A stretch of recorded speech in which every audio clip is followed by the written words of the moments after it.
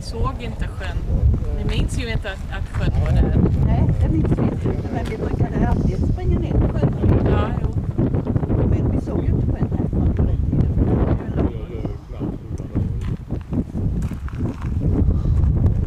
Men som sagt var, farfar, det var ju- det var ju så många- Bra gjort. Ja, du får prata mot Rickard så att han hör dig. Hur var dina farföräldrar då? Minns Yvonne någonting om farmor och farfar? Där var det farmor som var auktoritär. Farmor, det var nog farmor som bestämde mest. Pappa var hemskt tyst. Jag vet sa på hans begravning att han var en tyst man. Hade han inget gott att säga så sa han ingenting. Då sa han aldrig något. Jo, det gjorde han nog. Han var väldigt, jag tror han var en väldigt snäll man. Och eh, jag har ju en intervju hemma i en tidningsurklipp om honom och han eh, berättar då och han säger till ungdomarna att läs Bibeln.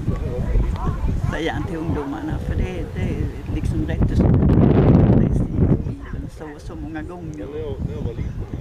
Så, eh, jo men han var en fin man. Men farmor var nog lite hård och lite, hon var stor och tjock. Farfar var liten.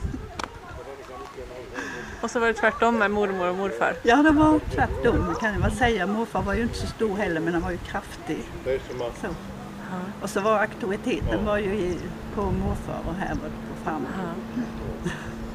Det var nog så att det skulle vara en som hade auktoriteten på den tiden. Det var ingen jämställdhet Nej. som vi pratar så mycket om idag. Ja. Det får det räcka.